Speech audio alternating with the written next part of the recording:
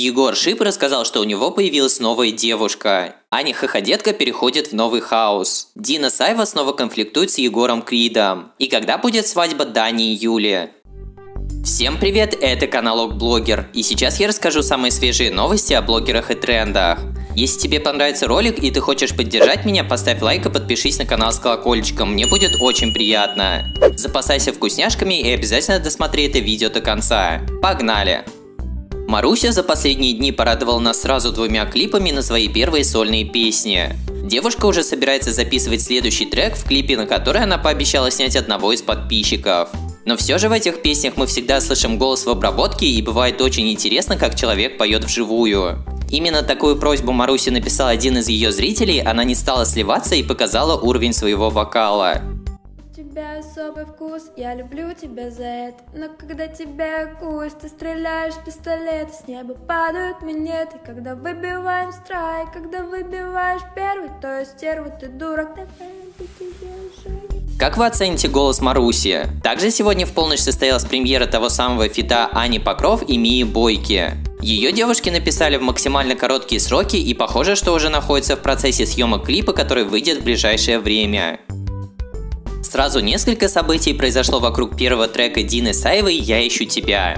Девушке очень сильно понравилась ее премьерная работа, и она решила снять на нее клип. Режиссером изначально должен был стать парень, который снимает работы зарубежным артистам. Но он, к сожалению, может помочь девушке только в феврале. Поэтому она обратилась к другому человеку, который ей тоже отказал. Так как в данный момент он сотрудничает с каким-то популярным русским исполнителем, и он поставил ему ультиматум. Либо ты работаешь со мной, либо с Диной.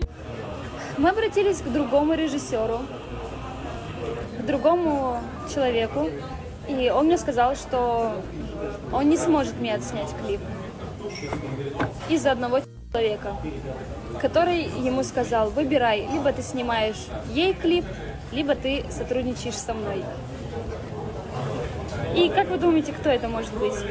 Просто пускай это останется внутри каждого из нас. Возможно, что девушка имела в виду Егора Крида, с которым она вела активную перепалку в интернете буквально месяц назад. Ребята в итоге до сих пор находятся в конфликте и похоже, что начали вставлять друг другу палки в колеса. Но на фоне этого негатива трек «Я ищу тебя» буквально за пару часов получил мировую известность. Тиктокерша Белла Порч, которая стала знаменита благодаря видео, где она просто качает головой под музыку, сняла ролик под песню Дины. Оставив подпись на русском языке «Я люблю русскую музыку». В комментариях набежало огромное количество русскоязычных людей, которые были в шоке от этого. Сама же исполнительница в этот момент спала, и когда ее разбудили, приятно удивилась такому вниманию. Дина в комментариях поблагодарила девушку за этот тикток и предложила как-нибудь в будущем снять что-то вместе. Белла лайкнула эти слова и взаимно на нее подписалась. Ждем, когда девушки смогут увидеться и снимут что-нибудь вместе. Кстати, Дина еще раскрыла, почему же не пошла на день рождения Дани Милохина. Оказалось, что она была не против, но ее просто не позвали. Это выглядит очень странно, особенно после их совместных съемок и многочисленных слов поддержки. Когда парень получил награду как прорыв этого года. Домой после дня рождения Дани до сих пор не уехала его приемная семья. Похоже, что они задержались на пару дней, чтобы погулять по Москве, а также заглянули в гости к своему второму приемному сыну Илье.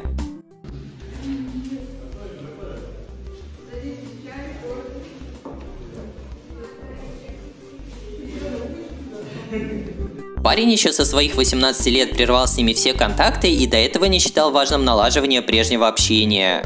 Но в итоге он осознал свою ошибку и решил исправиться. После семья заглянула и к Дане в Dream Team. Для них провели экскурсию по дому, они очень мило пообщались и сделали фото со всей командой. И конечно же не забыли снять совместный тикток, который набрал больше трех миллионов просмотров.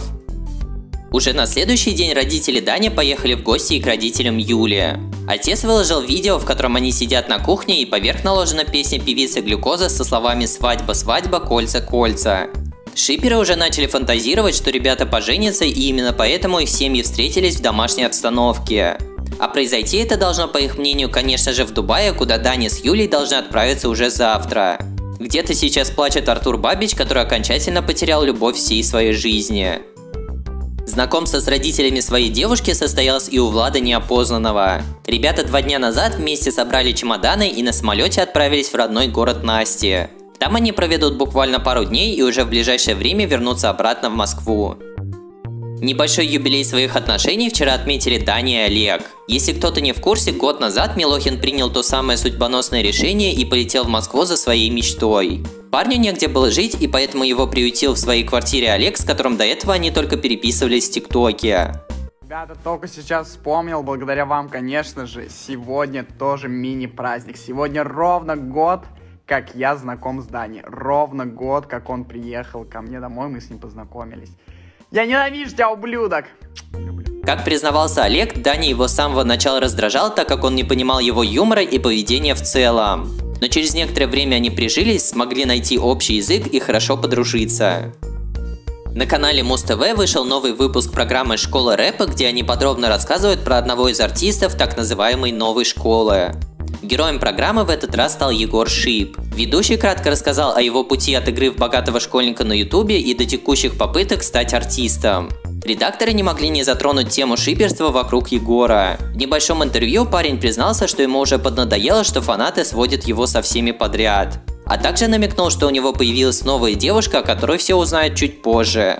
У меня много с кем шиперец, я уже на самом деле устал. Вот.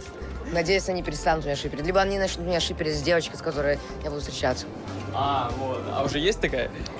А, скоро все узнаете. Если вы в курсе, о ком говорит Егор, обязательно напишите в комментарии. Также не забываем, что уже сегодня состоится концерт Snow Party в Москве, на котором должна наконец-то состояться встреча Егора с Валей Карнавал. Держим кулачки и надеемся, что они хотя бы просто поговорят.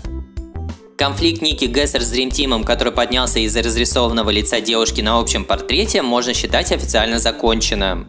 Дани решил продолжить свое творчество и разрисовал всех остальных участников, выложив результат в истории. Продолжение этой шутки заценили не только ребята, но и сама Ника. Она выложила скрин обновленного портрета и подписала «Спасибо, так гораздо лучше», и тем самым окончательно закрыла эту тему. Аня Хаходетка буквально пару дней назад объявила о своем уходе из Exoteam, но многие до сих пор думают, что это просто пранк. Ребят, не хочу вас расстраивать, может это к счастью, может и нет, но я ушла из Exoteam, я больше не в команде Exo. Вот так. К сожалению, эту информацию уже официально подтвердили в команде и в ближайшее время расскажут подробнее. В комментариях официальный аккаунт ответил подписчику, что Аня ушла от них из-за того, что переходит в другой дом. Самым вероятным исходом для хаходетки станет Dream Team, так как смысла переходить в другой хаос просто нет. А ребята как раз сейчас ищут новых участников. Что думаете насчет этого? И как вам Аня в роли новой участницы Dream Team? Не забудь заглянуть в мои паблики в Инстаграм и ВКонтакте, там очень много свежих новостей. Ссылочки вы найдете в закрепленном комментарии.